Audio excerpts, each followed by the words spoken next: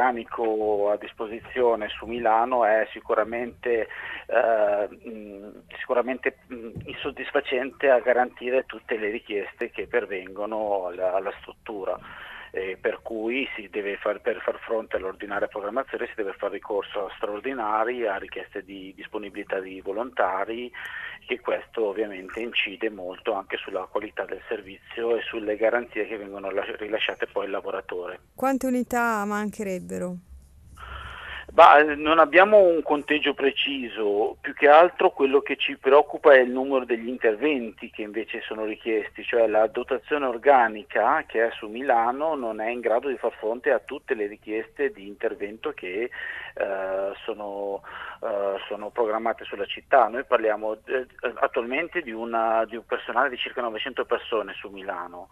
Um, però Milano città metropolitana con tutte le esigenze che, che rappresenta, dal vero e proprio soccorso dell'emergenza tecnica a tutti gli interventi che possono essere programmati, per cui ad esempio permanenza alle manifestazioni o a concerti o a um, eventi, insomma, e poi l'ordinaria, chiamiamolo così, il lavoro tecnico ordinario, eh, quello programmato giornalmente che incide sicuramente sull'effettivo carico di lavoro dei, dei lavoratori. La nostra richiesta parte da uh, dalla richiesta di incrementare eh, l'organico del personale.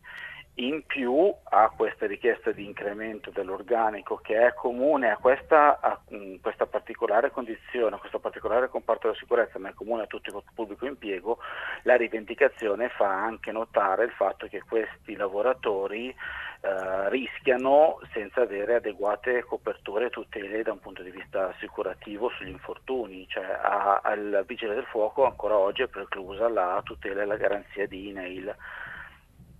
Quindi c'è molto da fare anche nel campo della sicurezza.